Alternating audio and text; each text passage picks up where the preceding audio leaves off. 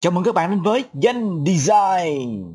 Timeline là nơi chứa video, hình ảnh, âm thanh mà bạn đã cắt Và cũng là nơi để cho chúng ta quyết định hình ảnh có được xuất hiện hay không Âm thanh có được nghe hay không. Nguyên tắc là Shift 3 để chọn Timeline.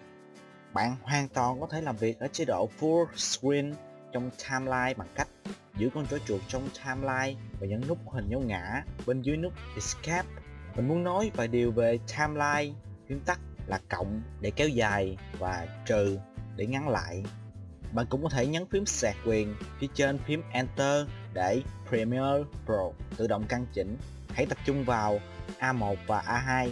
Tôi có thể phóng lớn và thu hẹp lại rất nhanh chóng bằng cách lăn chuột hoặc di chuyển đến vùng biên giữa V2 và V3 nó sẽ hiện lên biểu tượng lên và xuống chúng ta có thể kéo lên để phóng lớn và kéo xuống để thu hẹp để tất cả các A và V nhấn Shift và lăn chuột, tất cả sẽ đồng bộ tăng hoặc đồng bộ giảm.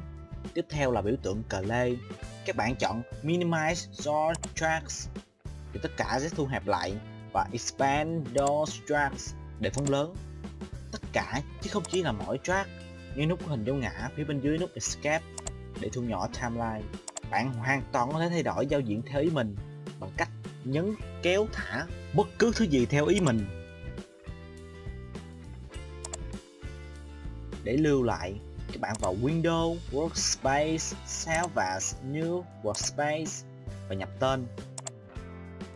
Để khôi phục lại mặc định Editing, Windows, Workspace, Editing và một lần nữa, Windows, Workspace, Reset to Set Layout.